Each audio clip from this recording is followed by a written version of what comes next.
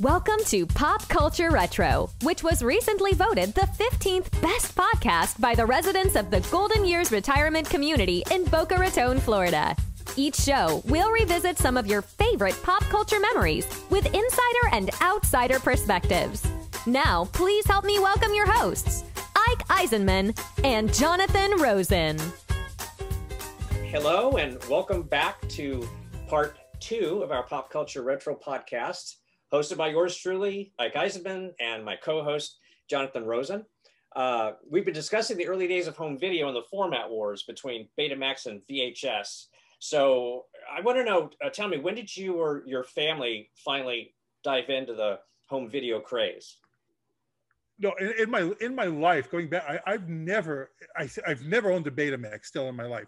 you know, uh, but I came in, you know, toward in the right in the middle of this, so I, uh, it was already known that beta, I guess, was not on the way out, I guess, maybe, or not as popular. Yeah. Um, but now I, I think I think we mentioned this before, you know, privately that now, or that did I read this that Witch Mountain became popular again because of this, because yeah, you, of the.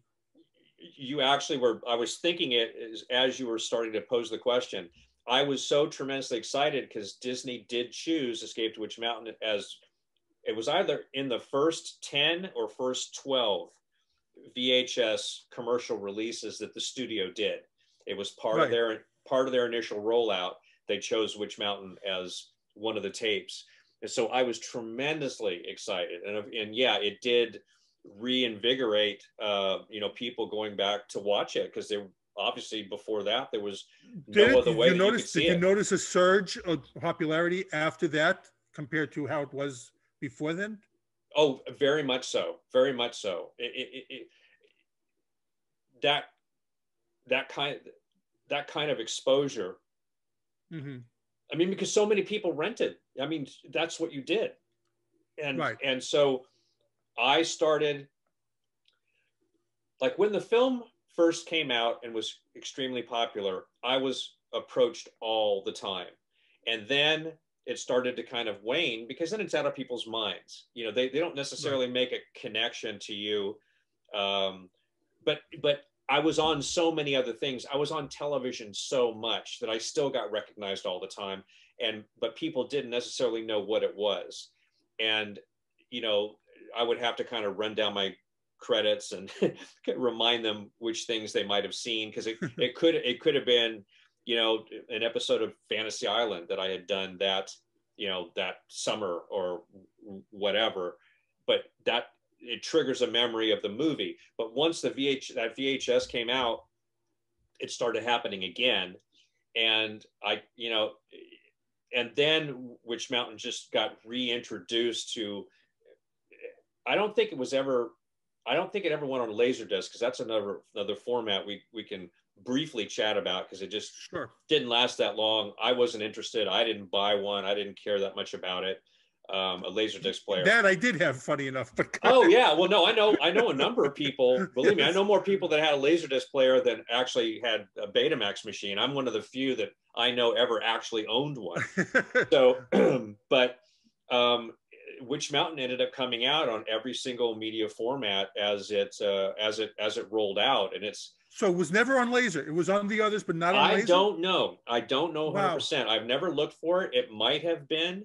And I would have thought I would have at least bought one for myself if it had been, but mm-hmm. I don't remember. And I've not actually looked that up. But um, that reinvigorated the popularity. And then it started when, when, when, um, when cable started breaking out more and more. Um, all these new formats always seem to reinvigorate those those older those older titles because because there's not enough new programming to support them. And they need content. They have to put content on. Um, i know when the first when the, uh, the sci-fi channel first started and of course this is a part of our retro retro but you know sci-fi channel cartoon network these these were you know they're ubiquitous in our minds now but they were mm-hmm. brand new cable stations that um, that all of a sudden they needed content. So Sci-Fi sure. Channel just bought up everything. I mean, Battlestar Galactica and Fantastic Journey was one of the titles. Uh, wow. The series I the series I did for NBC, of course, once that was off the air, everyone forgot about it. People remember it when I post things about it. Um, but when the Sci-Fi Channel came on, they ran Fantastic Journey like crazy, and that then reawakened that show. And until their mm-hmm. original programming caught up enough, it's just like how Netflix started. Netflix started playing, right. you know, movies and old sure. movies and all that stuff until their original programming caught up. And now you can't watch, you know, every practically everything that you know I used to like to watch is no longer on there anymore. And that's kind of how it works. But that then, yeah, really started to um, put my face back in people's minds, and um, and it just took off. Yeah. Well, I have to tell you, I mean, I have, I remember buying, I remember buying Witch Mountain in, in VHS. I remember that when it first started getting it. I don't remember the time because it was probably just to rent first, like we discussed. And I don't remember when it went on sale, but I remember that was one of the first movies that I bought when they became available. Oh wow! Because uh, yeah, so I had, but then since then I, you know, that's one of the movies that I have it in VHS. I have it in DVD. and yeah. then I bought it. I bought it digitally as well. and, and then and now it's on now it is on Disney Plus. So so I, I, was able to watch that. I think I, I, just mentioned to you too. My my youngest saw it for the first time uh, last week, and she was enthralled by it. She was she loved it. She watched that, and then she watched Return right after. Like there, she oh, never that's seen lovely. it before. How old is she? So she was she's fifteen. Fifteen. So, oh my she, gosh! Wow. Oh, that's great. no, never that's seen it, and uh, she I, absolutely loved it. I, I, that's, I, I love, I absolutely love hearing that. That's that's awesome, and it still it still amazes me how how many younger people will en- enjoy that movie and either I th- I identify ran, with it or she ran, just... she ran to follow you on Instagram right after the thing. And as a matter of fact, right now, whenever you do post on Instagram, many times now I already see liked by her before I even get to it. so she, oh, that's awesome. So, she, so she's a big fan now too. Oh, that's uh, awesome. Great to hear. You know, getting, getting, back, getting back to the other, I mean, one of the things that, um, and this, we are talking about the communal experience of movies, you know, just talking about VHS, the video store, going to the video store on weekends, that was such a, a great experience too. Like, you know, you had all these things all of a sudden, movies lining the walls. What am I going to watch this weekend? And you know, it, it's it misses something now. I know we talked about, it, and I don't like leaving the house so much either. I'm really like, and I, and I'm not introverted at all. I used to be, but I'm not introverted at all. But there was something about going to the video store. You know, first the neighborhood video store, then Blockbuster, which was uh, you know unbelievable how the, the the amount of content that they had and they they drove you know the video the home mom and pop video store out of business of course but uh, there, there, was just something about it some that special feeling that you know that you had that vhs you had the conduit to this whole entertainment world this whole movie world at your fingertips at home that i could go get anything now. You know i wasn't limited to what the tv was showing. Oh i could i'm so glad you said that because i would get this massive rush, this nauseous yes. bubble of excitement, planning, yeah, planning my my weekend rentals as well. Because I, I, I would do I I would go out on Friday and and I would rent as many as yes. I think they even had to have limits on how many you could take out at a certain point because people just rented so many so right. many tapes.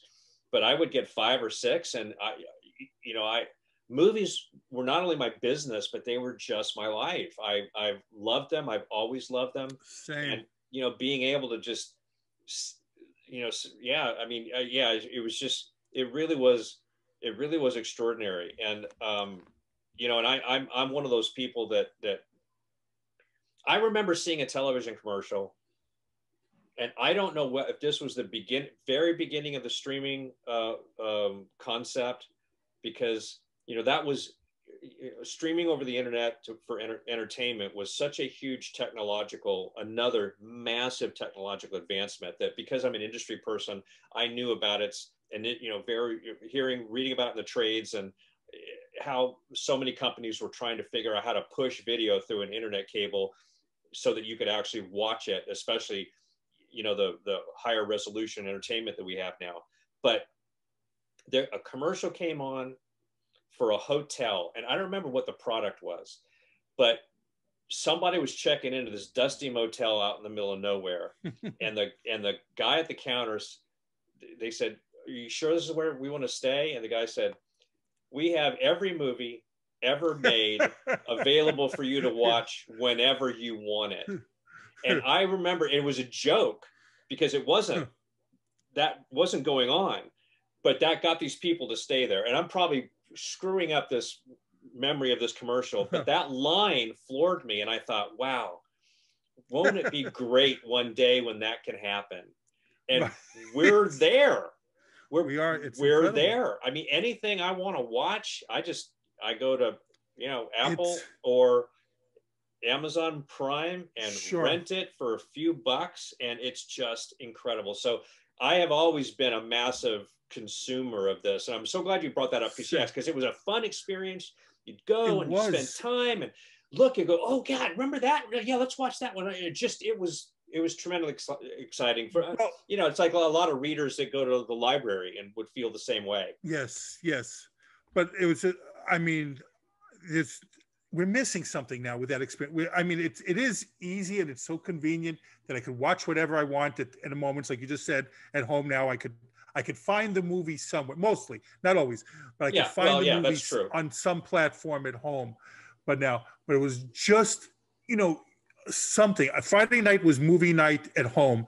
I would go to the to the video store and get. Friday night was always there. Saturday night was going out with friends or whatever. But Friday night was like to the video store, and you'd have to go early to get the new releases because right. they, because everyone was already getting them. Some people went Thursdays to get them, so they had them for Friday.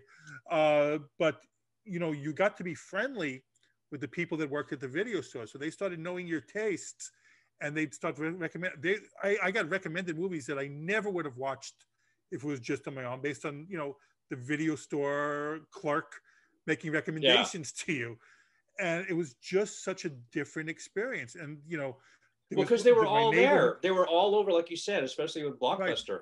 There were hundreds upon hundreds of them, sure. and you could walk through and check the spines out, pull them out, look to see if it's something you might be interested in. And yeah, I I came across things that I just on my own that I didn't know about or probably would not have um, been exposed to if I hadn't gone through that process. But it, that right. was, yeah, really the fun part. It was, it, it was, it was a part of the process, and that is missing because you know it's just it's it's yeah you have to they try to feed you you know online or on your phone or whatever what is available but it's just nothing like being able to scan the entire collection of movie history in front of you that is a you know that is available.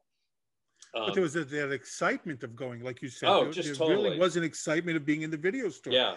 And it, it is missing. And Blockbuster, we talk. I mean, Blockbuster was your one-stop shop. I mean, Blockbuster had, you know, the movies here. Then you could buy the popcorn, the candies over here. Yeah. Even yeah. though it was overpriced, but it was like, you know, everything was right there. Yeah. For you to come back home with for the yeah. night. All right, I'm in. I'm in for the night. You know? Yep. Oh my gosh. Yeah no, I spent uh, many years uh, living that way myself, and it was great fun. Great fun. Did you see the documentary? It's it's on Netflix now. I actually purchased it when it was out on uh, Prime. The last blockbuster documentary. No. Oh, you! It is on Netflix. You must see that. It's, but I have seen the store because it's in Bend, Oregon. Right. Oh, you've been there. You've been to the store. I've I've. Oh, I'm jealous. outside of it, I didn't go inside because I kind of okay. know what it looks like but right. I've driven past because we had family that lived there for a number of years, and uh, yeah. How could so, you not have gone in? Well, it's uh, I don't, you know, I don't know. It just wasn't, you know, it was just fun to see it, um, but it, I don't know, I just didn't. so no, I'm not. I, that, I'm not. To me, oh, I'd love to go just to have that time machine feeling.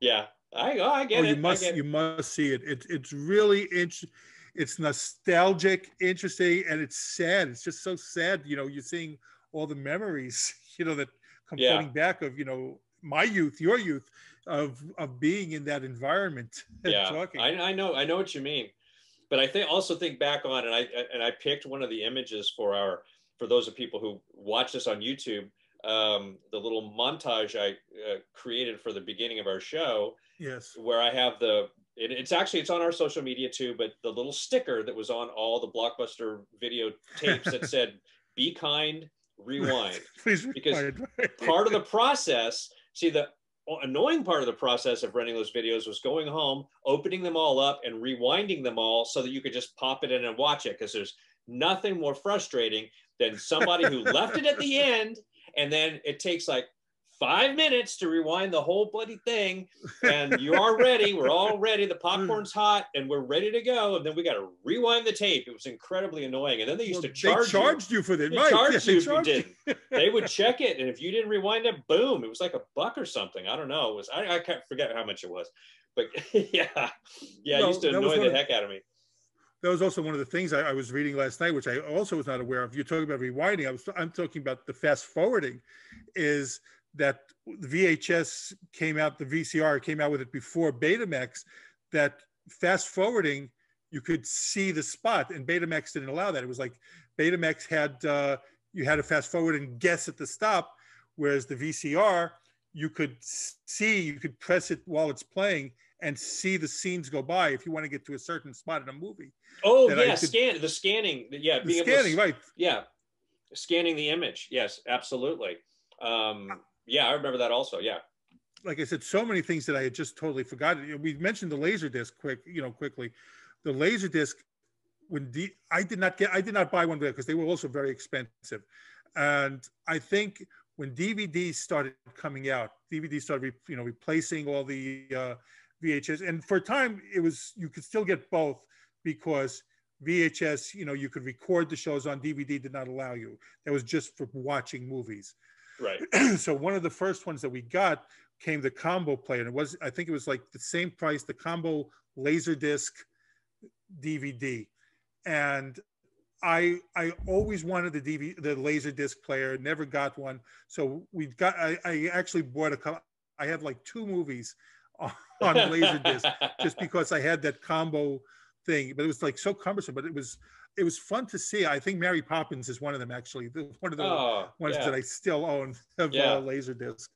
no, I know when But, D- uh, no, when DVDs took over, which I was excited about because again the quality was Mhm. was so high, and Sure. also the movies were um, were in a letterbox letterbox format, so you got the full aspect ratio of the image, right. and um, and that was always a big deal to me because I liked seeing. I didn't mind it was squished on the TV. People thought they were getting robbed because they weren't getting the whole I'm with you. picture, and right. yeah, and that's okay. That's you know, it's a it's a uh, you know personal uh, personal taste, but I like the letterbox, so I always bought those. But even DVDs were kind of expensive. They were like twenty five bucks or something like that, and I Yes. and and I liked. By the time that happened, I was working for every single every major studio in Hollywood doing audio, doing ADR. So I was on the lot, um, you know, of, of Fox and MGM, or which became Sony, uh, Disney, and, and Warner Brothers. And if you went into their employee shop, which everyone did, next to the commissary, there was a little store that had um, logo merchandise from the studio. They also sold all of their DVDs at cost. Right.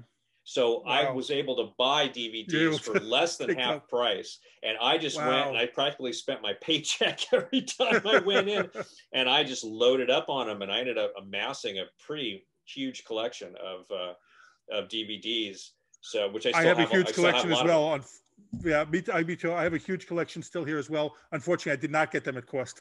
Yeah, I know. No, that's- that that's a rare thing and you, you know you had to be working on the lot um obviously you had to be on the studio lot to to have access to that which is you know some know. some VHS tapes are selling for like really nice prices now on Ah. eBay because you can't get them anymore. yes Well, we actually So have. My wife has a large collection, especially Disney ones, um, VHSs.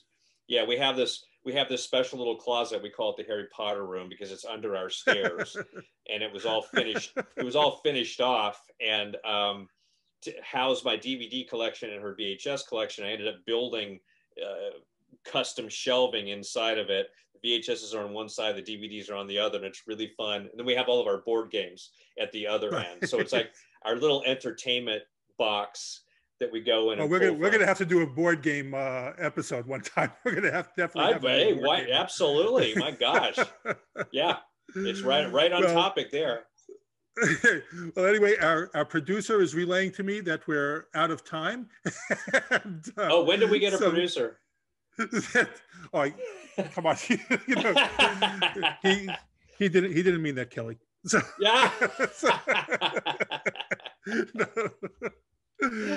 but anyway, any- we hope you enjoyed uh, this week's episode of uh, Pop Culture Retro. We had a lot of fun talking about this stuff. This was nostalgic for me, a lot of fun. But uh, oh, most if you have definitely. Me too. yeah questions comments and if you anyone has ideas for future episodes please drop a line and we'd be happy to do it Oh, see, the timer uh, went off. I can hear it. yes now. I, I have to stop that or is that me? I don't know. I can't tell. But anyway, i think that was mine but uh, again thank you thank you for tuning in and uh you know drop us a line like we said and ike always a pleasure absolutely. Well, we'll see you guys um, next time. see you next time bye bye Thank you for listening to Pop Culture Retro, where no one was hurt during the making of this podcast.